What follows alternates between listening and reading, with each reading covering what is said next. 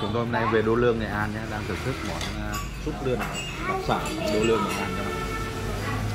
xin mời các bạn nhé